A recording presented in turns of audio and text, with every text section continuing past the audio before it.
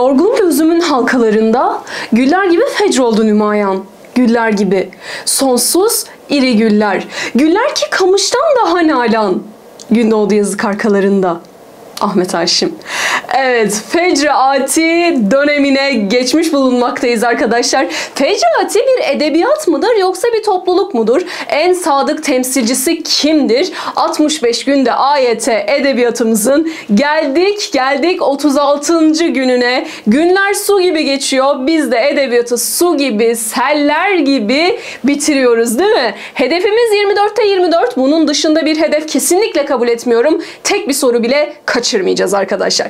Evet, Fecraati edebiyatının özelliklerini konuşacağız. Fecraati edebiyatının en sadık temsilcisi olan Ahmet Haşimi, Tahsin Nahiti, Emin Bülent Serdaroğlu'nu konuşacağız. Üç tane önemli ismimiz var ama birkaç isim daha var. Onları da konuşacağım ama Fecraati'yi sormak isterlerse Ahmet Haşim'in dışına çok çıkacaklarını düşünmüyorum arkadaşlar. Evet, Fecraati bir edebiyat mıdır, bir topluluk mudur? Fecraati bir topluluktur. Fakültede bize en çok sorulan soru. Lütfen dikkat edin arkadaşlar.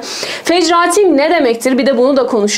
Fecraati geleceğin ışığı, geleceğin şafağı ya da geleceğin aydınlığı anlamına gelir. Fecr ati, ati gelecek, fecr şafak ya da ışık. Yani geleceği aydınlatan bir topluluk olarak kendilerini beyan etmişlerdir. Ve edebiyatımızda bir beyanname ile ortaya çıkan ilk edebi topluluktur kendisi. Bu sebeple de önem arz etmektedir arkadaşlar. Evet 1910'da Servet-i Fünun dergisinde bir bildiri yayınlayarak ortaya çıkıyorlar kendileri ama uzun soluklu olamıyorlar. Bu sebeple biz onlara edebiyat diyemiyoruz. Sadece 3 sene devam etmiş oluyorlar. Peki bu bildiriye pek çok kişi imzasını atıyor ama burada sadık temsilciler görüyoruz. Peki kimlerdir bu imzalarını atanlar? Hamdullah Supi Tanrıöver, Refik Halit Karay imzasını attığı halde bu dönemde eser vermiyor da Milli Edebiyat'ta kendilerini görmüş oluyoruz arkadaşlar. Evet şiirlerinde aruz ölçüsünü kullanacaklar. Dil kapalı olacak ve hatta hece ölçüsünü köylü vezne olarak Ahmet Haşim bizzat ilan etmiş olacak. Hece köylü veznedir. Bu sebeple biz hece ölçüsünü kullanmıyoruz. Aruz ölçüsünü kullanıyoruz diyecekler arkadaşlar. Aşkı anlatacaklar. Tamamen bireysel duyguları anlatacaklar. Öyle topluma falan yer verme burada ne yazık ki görmüyoruz arkadaşlar. Dönemde aslına bakarsanız en sadık temsilcimiz Ahmet Haşim ama biz Emin Bülent Serdaroğlu'ndan da yine Tahsin Nahit'ten de çok şey öğreneceğiz. Evet ilk sanatçımız Ahmet Haşim'e bir başlayalım. Hayali Aşkım ilk şiiridir kendisinin ve o bir akşam şairidir. O bir yalnızlık şairidir. O bir kendini beğenmeyen bir şairdir arkadaşlar. Başım şiirinde bunu çok güzel bir şekilde de dile getirmiştir. Kafa, kafasını böyle koparıp atmak istemektedir adeta. Kendini o kadar beğenmez. Ama biz hep şunu konuşuyoruz ya ben hep size şairlerin hayatlarından da bahsediyorum biliyorsunuz ki. Ve bu hayatlara aslında edebi kişiliklerin oturmasında da oldukça önemli. Ahmet Haşim çok küçük yaşta annesini kaybediyor. Hatta merdiven şiirini annesi için yazıyor. Çünkü merdiven hayatının basamakları. İnsan doğar, yaşar ve ölür ve annesini çok küçük yaşta kaybettikten sonra kendi içine kapanıyor. Çünkü babası bir süre sonra onu ne yapacak? Bir yurda verecek, yatılı bir okula verecek arkadaşlar. Oradaki arkadaşları tarafından da itilip kakılıyor. Çünkü Ahmet Haşim Arapça biliyor ama o e, Türkçe okutulan, Türkçe dersinin hakim olduğu bir okula yazdırılıyor. Bu da onun için böyle derin bir acı yaşatacak. Sonra kadınlara çok güvenmeyecek ve hayatı boyunca zaten evlilik yapmayacak arkadaşlar. Pek çok denemesi olacak fakat başarılı olamayacak. Ee, ve hatta bizim hocalarımızın anlattığına göre ne kadar doğru tabi bilmiyorum ama bazen rivayet de olabiliyor çünkü. Ee, pek çok kez kız istemeye gitmiş fakat e, ne yazık ki vermemişler. Güya çok beğenmedikleri için. Bazı zamanlarda kendisi beğenmemiş. İşte görücü usulüyle böyle tanıştırılıyor vesaire ama yok diyor ben olmaz. İşte beğenmedim bir takım e, şeylerle kendini bırakıyor yani yalnızlığını kendi içinde yalnız kalmayı seven bir şair olarak tanıtabiliriz onu. Ahmet Haşim deyince başka ne diyebiliriz arkadaşlar? Kızıl hava deriz değil mi? Ne diyor? Ağır ağır çıkacaksın bu, bu merdivenlerden. Eteklerinde güneş rengi bir yığın yaprak ve bir gün bakacaksın semaya ağlayarak diyor Burada aslında o sema, kızıllık, kızıl havalar, kızıl havaları seyret ki akşam olmakta demesi böyle gün batımına doğru dışarı çıkıyor çünkü. Çok fazla gündüz vakitleri dışarı çıkmayı sevmiyor çünkü kendi bedeninden çok hoşlanmıyor. Bu sebeple insanların da onu görmesini çok istemiyor. Daha böyle e, kızıl havalarda, daha böyle akşam üstünde dışarı çıkmayı seviyor. Evet içimizi yakıyor değil mi? Bu, bu Bunları anlatmak zorundayım çünkü şiirlerini gördüğünüzde tanımanızı istiyorum. Bu sebeple anlatıyorum arkadaşlar. Bugün de Ahmet Haşim'e üzülelim be. Yani kendi derdimiz yokmuş gibi de bugün de Ahmet Haşim'e birazcık üzüleceğiz ne yazık ki arkadaşlar. Evet dediğimiz gibi Hayali Aşkım ilk şiiri ve saf şiir anlayışına bağlı bir sanatçı görüyorsunuz arkadaşlar. Öz şiir biliyorsunuz ki.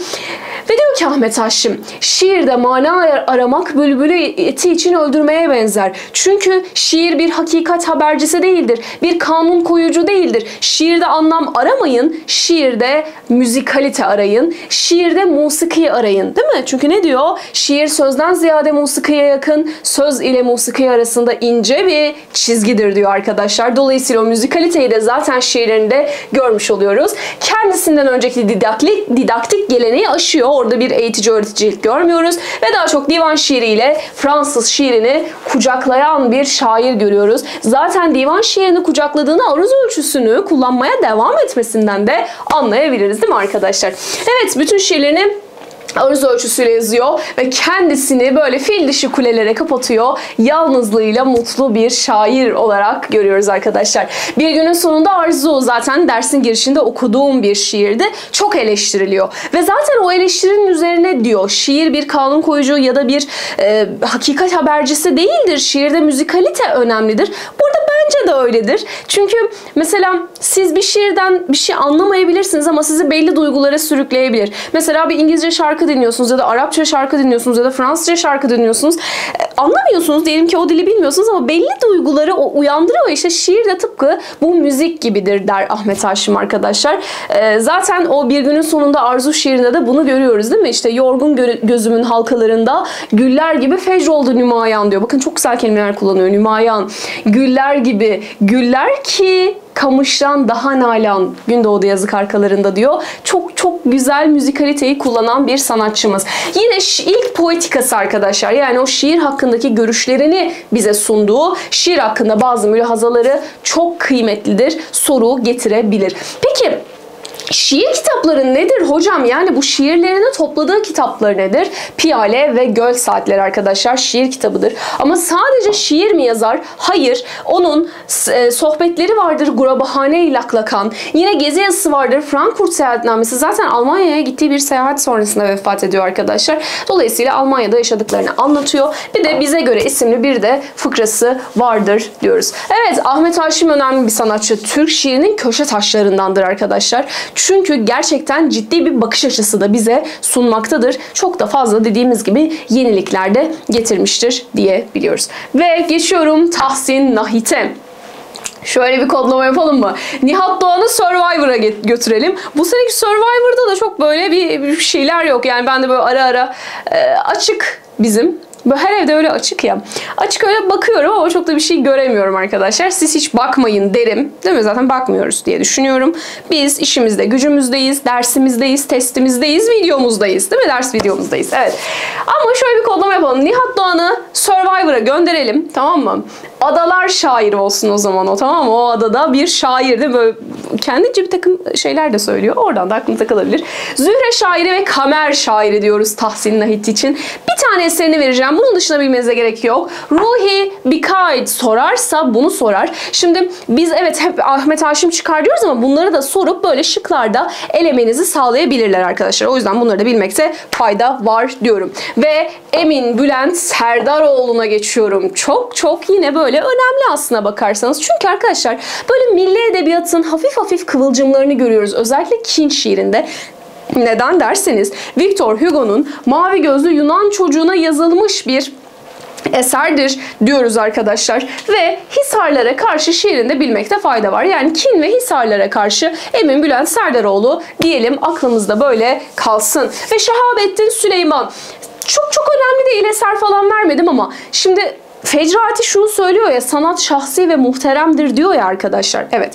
O zaman bu cümleyi söyleyen de Şahabettin Süleyman'dır. Hani bazen böyle ifadeler gelebiliyor. Diyor ki işte sanat şahsi ve muhteremdir e, sloganını, cümlesinin sahibidir gibi bir ifade gelebilir. O zaman Şahabettin Süleyman'ı bileceğiz. Bir de fırtınası var ama çok da böyle hani, e, bilseniz de olur bilmeseniz de olabilir. Ve Cemil Süleyman var. Yine bu dönemde olduğunu bilelim. Timsali aşkı bazen soru bankalarında görebiliyorum. Şimdi işte soru bankasına çıkınca karşınızda böyle şey olmasın. Hani hoca anlatmadı falan olmasın lütfen. Ben biliyorsunuz ki nokta atışı yapıyorum ama yine de bunu da vereyim istedim. Timsali aşkını bilin. Bir de müfit, ratip, e, müfit ratipimiz var. Tiyatroları önemli ve Türklerin aslında ilk tiyatro eleştirmeni olarak da onu bilebiliriz. Zaten kısa bir dönem, zaten 3 yıl sürüyor, zaten uzun soluklu değil, zaten edebiyat değil arkadaşlar tamam mı? Fecrati bir topluluk ve görüşlerini bir beyanname ile bize ortaya çıkaran bir topluluk ve en sadık tem- temsilcimiz Ahmet Haşim değil mi? Peki arkadaşlar o zaman o zaman milli edebiyata geçmeden önce günün sorusu gelsin ve cevaplar da gelsin lütfen. Bakın böyle ben sanki biraz bir rehavet görüyorum sizde. Kemik kadromu bir görebilir miyim? Buradalar mı onlar? Bir buradayım hocam diyebilirler mi? Bir yoklama alayım. Bir yoklamamı ben alayım. Lütfen arkadaşlar. Yani sonra izlerim, Mart'ta izlerim, Nisan'da izlerim derseniz yanda gülüm keten elva yığılır konular haberiniz ola. O zaman ben de o zaman çekseydim değil mi? Zaten bildiğimi anlatıyorum. O yüzden yok. Şu an izliyoruz. Günü gününe takip ediyoruz. Bu çok çok önemli. Yığılmayacak. Tekrarlara vakit kalacak. Full tekrarlara vakit kalacak. Sizin istediğiniz videoları çekeceğiz. Siz onları dinlemeye vakit bulacaksınız. O yüzden önemli. Gelsin günün sorusu. Günümüz günün sorusu şu arkadaşlar. Günümüzün sorusu. Evet. Halit Ziya'nın romanlarını istiyorum sizden ve Mehmet Rauf'un romanlarını istiyorum. Bir yazın bakalım aşağıya. Halit Ziya Uşaklıgil ve Mehmet Rauf'un romanları nelerdir? Evet, bugünlük dersimiz bu kadardı. Dersi beğendiyseniz beğene tıklamayı ve yeni gelen videolardan haberdar olmak için kanala abone olmayı unutmayın lütfen. Bir sonraki derste görüşünceye dek unutmayın ki kalbim sizinle güç bizim.